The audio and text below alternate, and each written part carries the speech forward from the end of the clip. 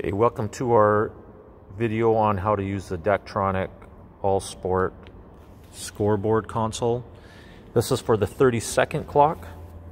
Here is our 30 second clock controller, so whoever is stationed at this position will need to make sure they know how to use this properly.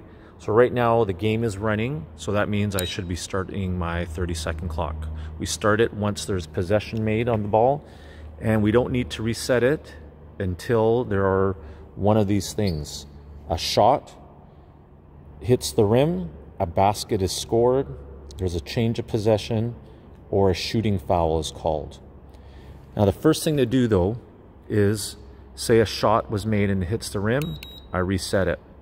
If a shot goes in in a basket, I want to do what we call a long reset. So I wait till the basket's scored, I hold it down, and then once the ball is inbounded, I let it go. So I can only let it go once the other player who's received the inbound pass from their teammate, I can then have that 30 seconds start again.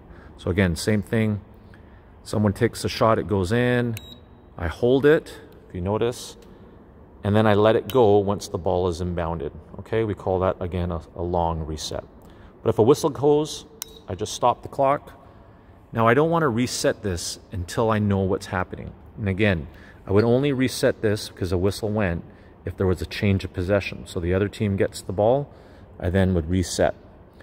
If there is no change of possession, I may need to keep the time at 24. If the referee asked to maybe go to 18 because there was a foul called in the front court, I could put it to always to 18. If I say reset it by accident and the referee says, nope, it needs to go back to whatever it was, say it was 12 seconds, we need to go back to the score clock person and ask them to change it. And just a reminder, all we do is go edit, set shot time. I want the current time to be at 12 seconds. So I go yes, put my second in. Now I'm showing 12 seconds. So when the game gets restarted, all I do is I start it when the ball is inbounded and the referee's hand goes down and we just continue on.